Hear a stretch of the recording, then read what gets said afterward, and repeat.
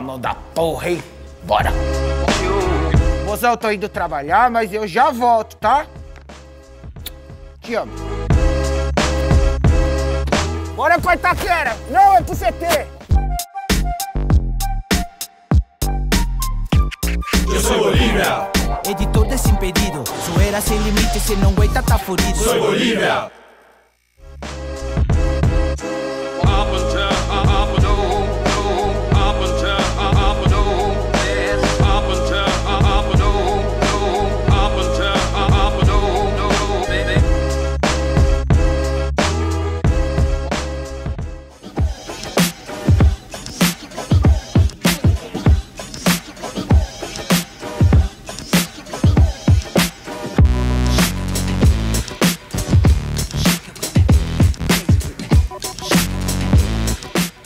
Aqui no CT do Corinthians, trombei aqui o Zé.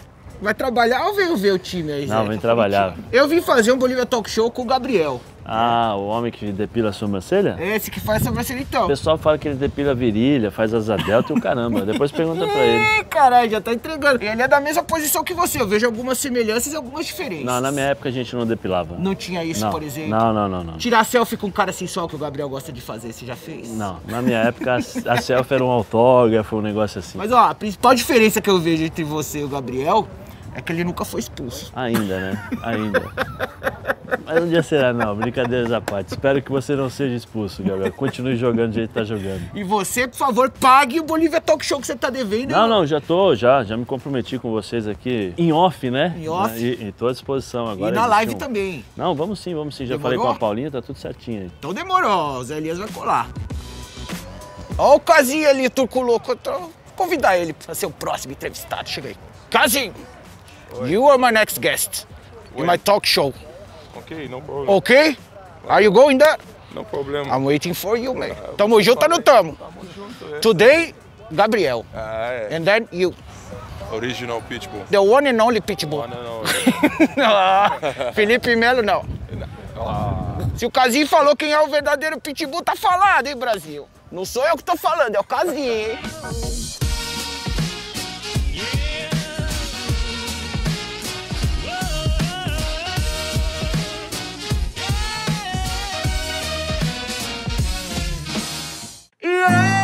Gabriel, agora tem que dar moral pra fiel. Trocou o Alviverde pelo Coringão. E os palmeirense puto com a traição. E aí, Gabriel. Falou em Mundial, aqui tem troféu. Juiz filha da puta quis te expulsar. Saiu bicando tudo pra extravasar. O marcar. Porra, show de bola. É mais ou O menos timbre isso. tá legal também. Gostei. E agora que a gente tá no Corinthians, eu vou até trocar de óculos. Eu vou meter uma Juju aqui, ó, que é mais maloqueiro, mais Corinthians, né? O que, Juliette. que você acha? Da certo? ópera, Juliette, show de bola. Ô, Gabriel, você nasceu em Campinas, né? Nascido em Campinas. Quem nasceu em Campinas tem uma fama aí, né? Não, não tô sabendo de nada, não. Não, né? Não. Porque ele tava falando com o Zé Elias ali, e ele falou, ah, o Gabriel, que fica fazendo listrinha na sobrancelha, que usa cueca asa delta. Eu falei, Ô, pô, louco. é, o- foi o Zé Elias que falou, é mentira. Tá louco, eu nunca me vi de cueca, pô. Zé da Fiel, né? Zé Elias jogava mais deitado que de. Mas chegava firme, né? Chegava firme, mas jogava bola o Zé Elias. tá louco.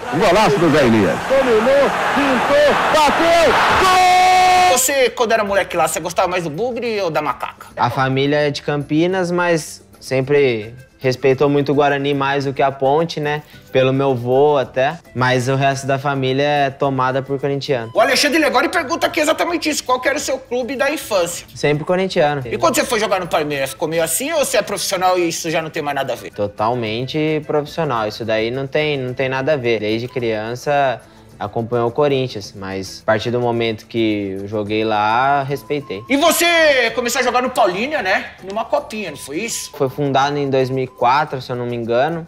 Eu fiquei seis anos lá até final de 2010. Em 2011 eu disputei a Copa São Paulo, né? Pelo Paulínia mesmo. Aí eu fui pro, pro Botafogo do Rio. Então a importância da copinha aí na sua carreira é total, né? Ah, foi a porta de entrada aí pro, pros clubes grandes aí. Você me corrija se eu tiver errado. O Paulinho tava no grupo do Botafogo. Tava e aí no você grupo. jogou bem pra caralho, os caras cresceram os olhos e falaram: esse volante é, É. bom, os caras te pegaram, é isso? É isso mesmo, até fiz o gol contra o Botafogo.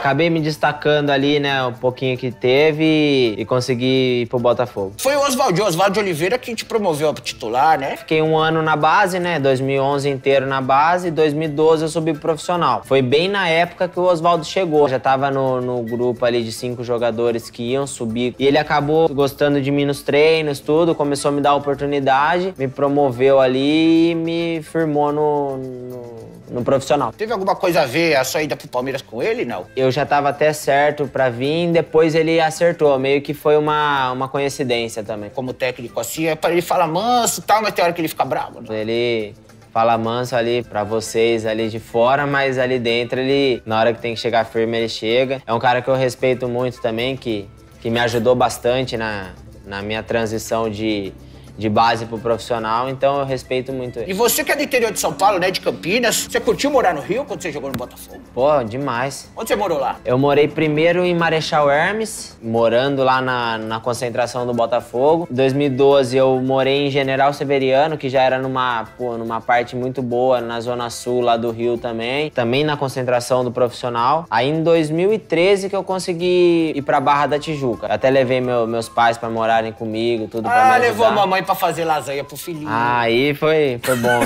Oi, filho. Eu fiz uma lasanha. Eu sei que você gosta.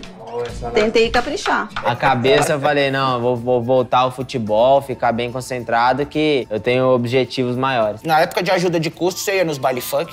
Já foi algum? Ah, a gente ia conhecer, né, só, mas só pra ver como que é. Mas é da hora os baile funk do Rio. É bom demais. Hoje eu tô louco, eu tô embrasado, tô com da fura, cheio de mulher do lado. Não engravidou nenhuma mulher lá no baile funk. Não, não, tá louco. Porque as mulheres saem grávidas do bagulho lá, hein, mano? Ficha limpa, bicho, ficha limpa. Segue o baile. Você já foi na laje do Didico? Não, não fui nessa, não. Eu quero, mano. Outro dia teve uma festa lá, velho, que durou acho que uns três dias. Eu queria ser convidado. É rave? É Uma rave do, do Adriano na laje, imagina, mano. Deve ser Meu muito Deus. louco. Se te convidar, chama nós também. Fala, tem um primo lá boliviano, eu vou levar o cara lá. Pra conhecer Pra só. conhecer a laje do Didico, ele fica cortando o cabelo lá e fica, "Ei, parceiro, valeu, papai do céu abençoe todos vocês.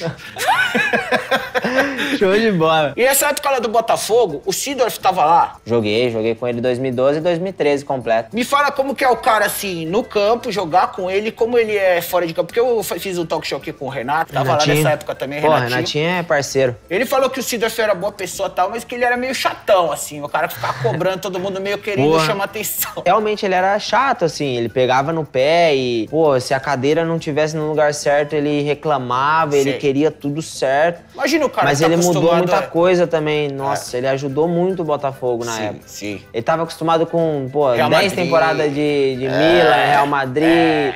Aí chega, né? No Brasil, No Brasil, tava uma transição ainda. de- Aí ele arrumou bastante, ficou legal lá. Você troca ideia com ele Sidorf, hoje? Sim. Pô, ele me adotou lá, assim, porque os mais velhos, mais experientes, vê os moleques da base chegando e procura ajudar. Eu tava na final da Champions, aquela que foi Barcelona e Juventus. Tava lá em Berlim. Aí eu tava no hotel lá que a gente conseguiu entrar. Passou o Sidorf. Eu falei, ô Sidorf, fazer uma selfie aqui pra, pra, pra torcida do Botafogo. Ele falou assim, não. E foi embora. Eu falei, Mentira. Tá cuzão do caralho. Eu devia estar estressado então.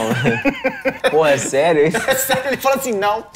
Na lata. Eu falei, né? pô, suave.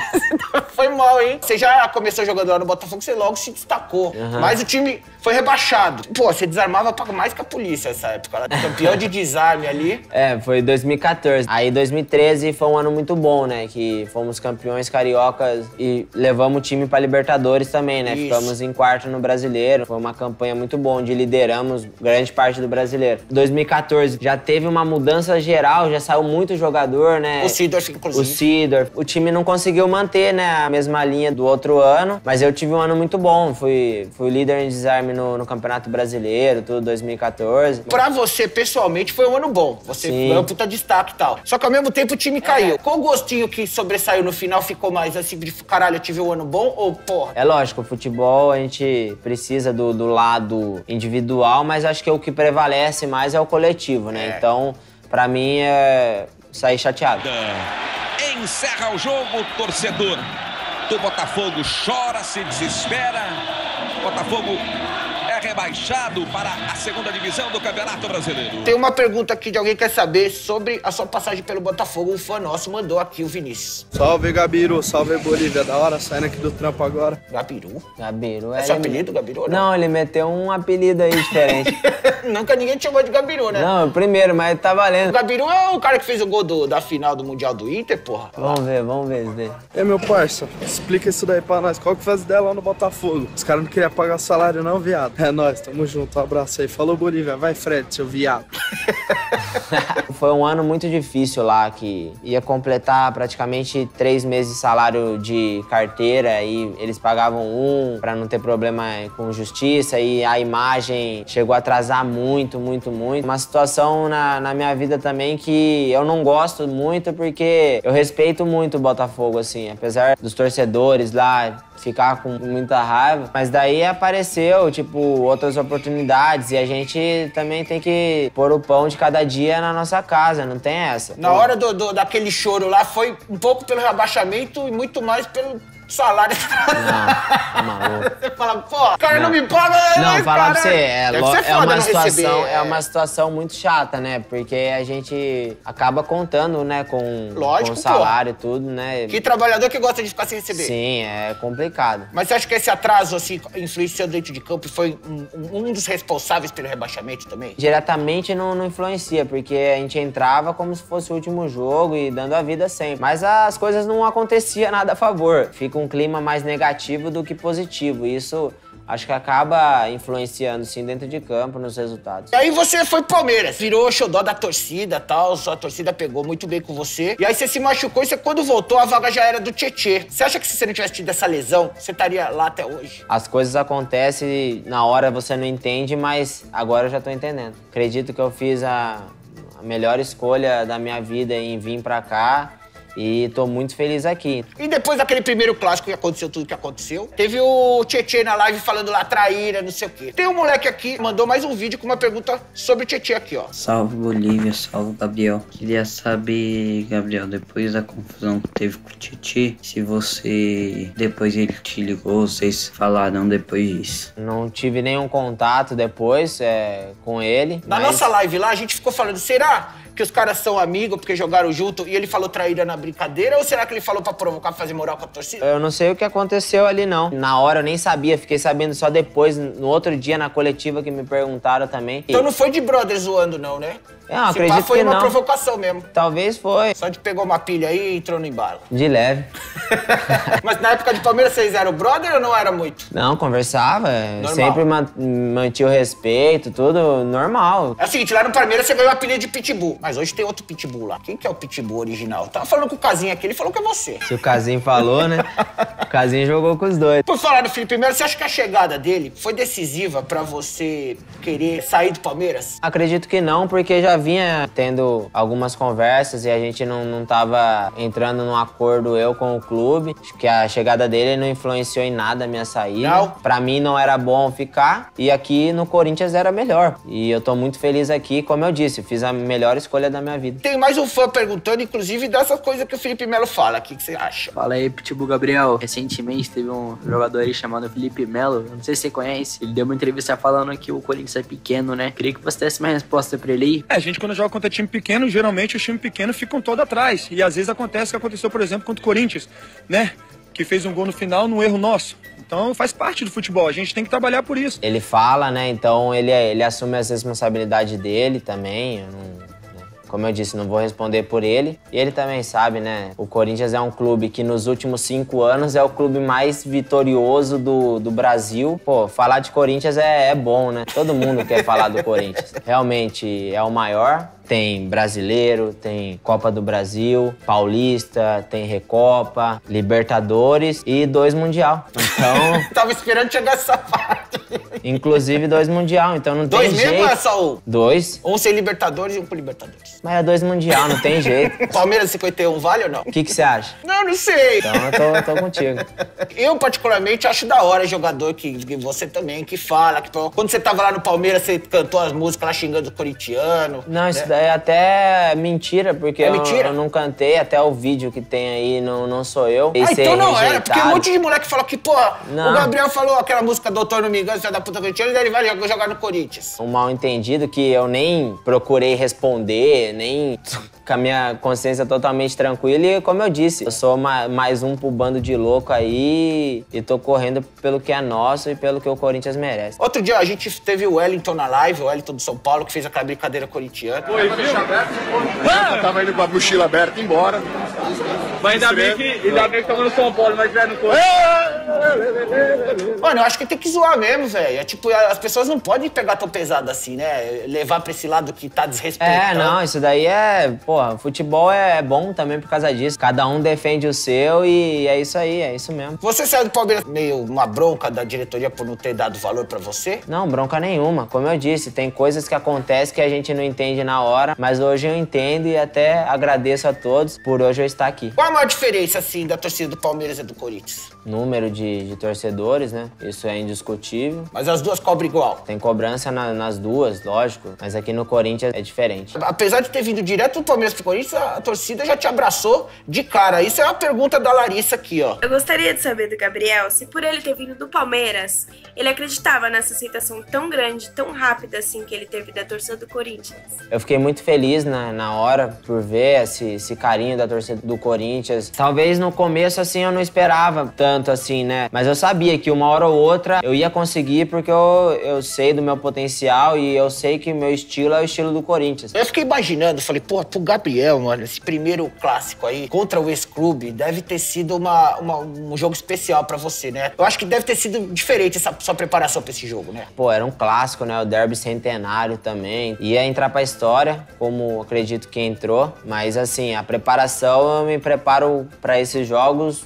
como me preparo pra pra todos. Mas lógico, com um gostinho especial, ainda mais pela vitória, com a menos, foi, foi gostoso. No começo do jogo, você deu uma chegadinha por trás ali no ataque, tomou amarelo. Nessa hora, você que nunca foi expulso, você pensa, cara, fala, porra, eu não quero quebrar esse tabu de nunca ter sido expulso. Você- Você pensa e fala, porra, já tô com amarelo. No lance, se- dá pra você lembrar e falar assim, puta, eu não vou chegar tanto, senão. Ah, não é nem o lance de, ah, que nunca foi expulso. É, só, é o lance também de você não prejudicar a sua equipe. Como que faz pro volante nunca ser expulso, velho? O volante tem que destruir a jogada dos outros. Normalmente tem que destruir, né? Mas acho que é posi- posicionamento ali dentro de campo, você tá bem fisicamente pra você chegar inteiro numa bola, chegar no momento certo, na hora certa. Você chega antes do jogo e fala, Juizão, sabe pro cara ir com essa cara, falar, porra. Ah, agora a maioria já conhece, né? De apitar muitos jogos assim, tá, tá complicado. Tem uma mensagem da Marcela Fernandes aqui, que é a fã do Desimpedidos e sua também, ó. Fala pra gente quais são as suas expectativas aí no Corinthians. E, por favor, para de tomar cartão amarelo. Isso vai matar a gente do coração. Vai, Corinthians. Ó, chegar É, bronca, hein? uma, uma durinha de leve. A questão do cartão amarelo é normal. O importante é você não prejudicar a equipe, como eu disse. Se você tirar o pé, o cara vai passar e vai pode criar um lance de perigo. Uma hora ou outra você vai ter que fazer o jogo sujo, né? Entre Sim, aspas, pra matar uma jogada. Isso é Contra-ataque. acontece. Mas assim, a expectativa é a melhor possível. Acredito que o time é muito bom. Já ganhou dois clássicos, o que teve. Então não tem muito o que, que ficar falando. E sim provar dentro de campo a cada dia. Mesmo sendo considerado pela imprensa tal, o, o- o pior dos quatro de São Ah, Paulo isso, atualmente. Isso daí é a imprensa que fala. Pra gente não é. E o que importa é o que, que nós pensamos também. Às vezes essas coisas da imprensa falam, pô, o Corinthians atualmente é o que tem o pior elenco de São Paulo e tal. Isso aí faz vocês entrar em campo mais mordido e ganhar na. superar na, na vontade. Ah, tá acontecendo isso, né? Aí você tem que ver depois eles admitir que estavam errados. Então. Vocês vão ter que me engolir. Vocês vão ter que me engolir!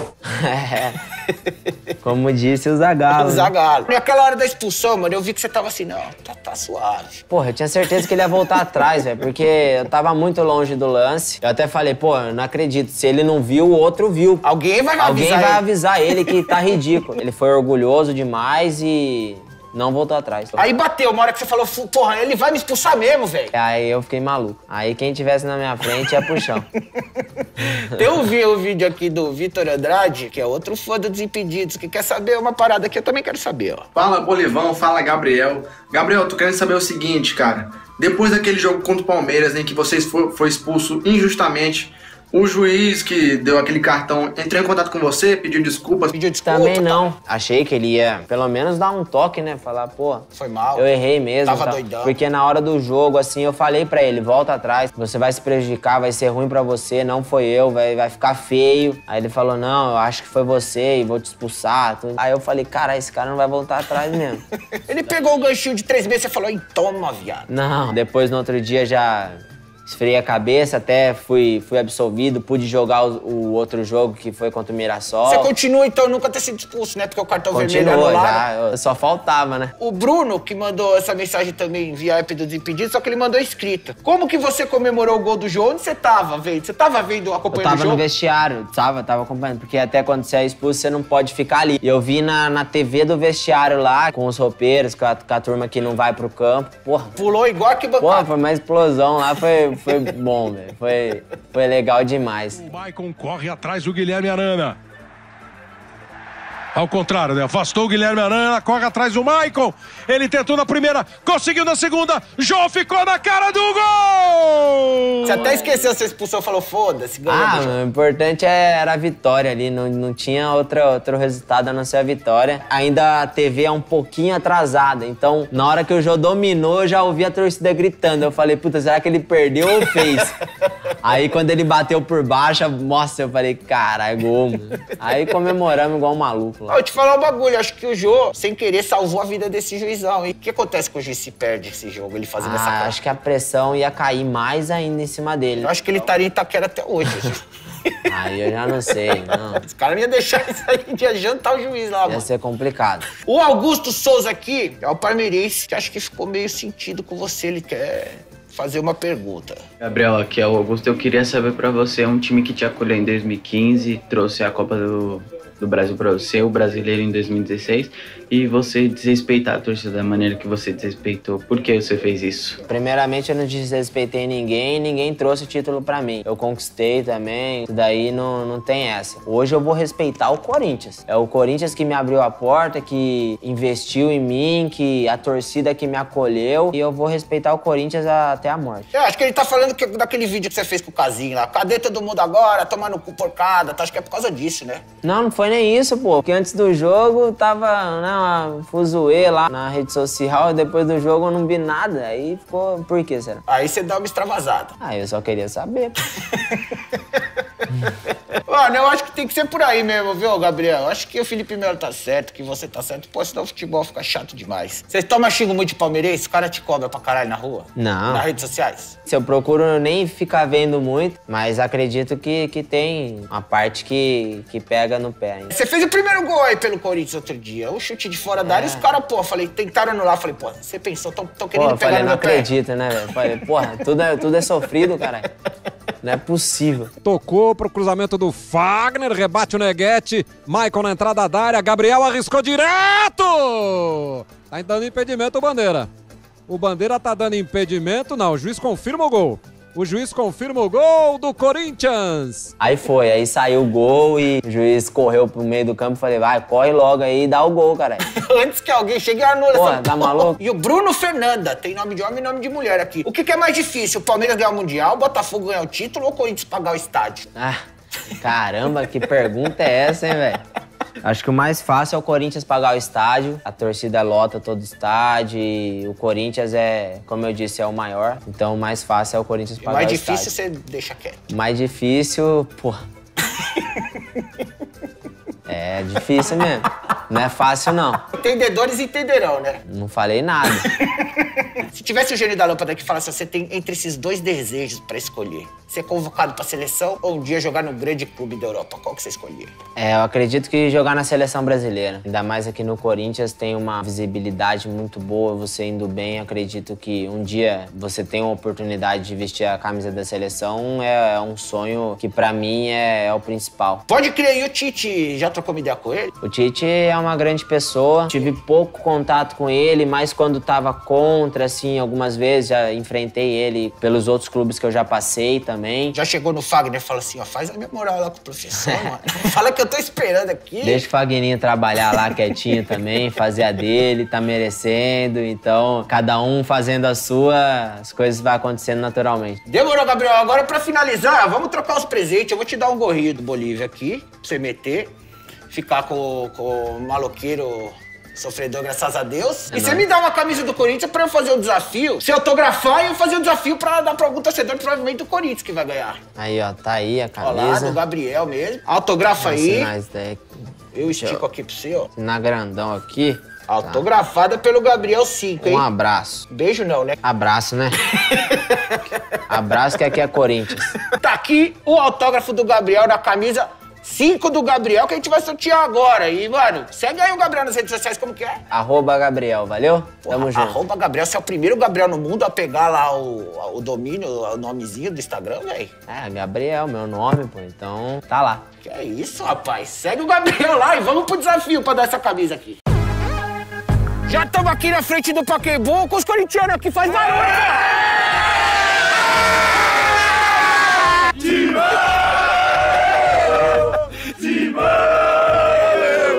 Os corintianos estão matando a saudade do Paquembu e estão aqui pra tentar levar a camisa do Gabriel. O desafio hoje é o seguinte: o Gabriel marcou o primeiro gol pelo Corinthians com uma porrada de esquerda, de fora da área de primeira, apesar de ser destro. Então, aqui a parada é a seguinte: eu vou rolar a bola igual ela veio pro Gabriel no jogo. Tem que pegar de canhota. Quem pegar melhor de canhota e mandar a bola mais longe, fica com a camisa. Fechou? Vambora então. Prepara a canhota aí. Vai um pouquinho mais pra trás. Vai lá. Errou! Os malucos batendo palma, tipo, se fudeu. Preparado aí, Marquinhos Gabriel? Mais ou menos. Então vai, Marquinhos Gabriel. Ó! Que é isso, hein? Foi bem, moleque. Foi bem. Pegou na veia, mano. Sério candidato aí. Vai, menor. Já foi pra Fundação Casa com essa camisa aí? Puxou quantos meses lá? Cinco? Mas tá bem já. Vai lá, menor. Ih, ó, acho que você é o único aqui que não é corintiano, velho. Tá isso aqui? Eu sou flamenguista. Flamenguista, se você ganhar a camisa, você vai fazer o quê? Eu vou guardar que sou colecionador também. Então vai lá, Flamengo! Errou!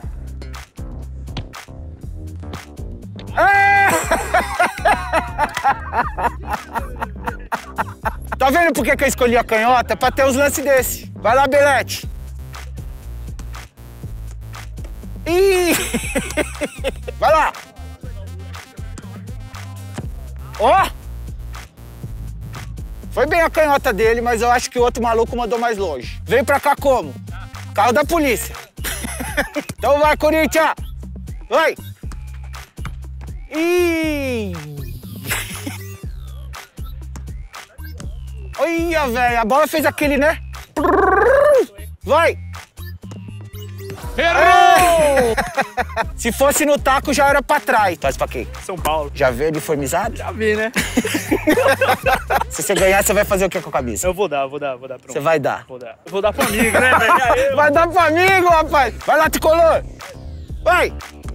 Vai! Ih! Tem um turista aqui, veio do Havaí, mano. Tava passando, meu irmão é fã, eu falei assim, pô, vou parar, vou ver se eu ganho a camisa do Corinthians, mesmo sendo flamenguista. Demorou, Flamengo. Então vai, é na canhota, hein? Vai! Ó! Ó, foi melhor que muita gente aí, mas tem o Marquinhos Gabriel tá ganhando ainda. Vai, mano! Eita porra! Aí, parceiro, isso mesmo. Deixa 10 reais na volta aí, irmão. Vai! Ih! Tá fraco, meio doce. Vai. Ih. Você, você tá com a canhota meio avariada aí, hein, mano. Não, perdei. Ô, você vai chutar, sua perna vai junto com a bola. Vai. Ei! É o último que vai chutar. Se não chutar muito longe, o Marquinhos Gabriel já levou. O moleque tá zicando ali, ó.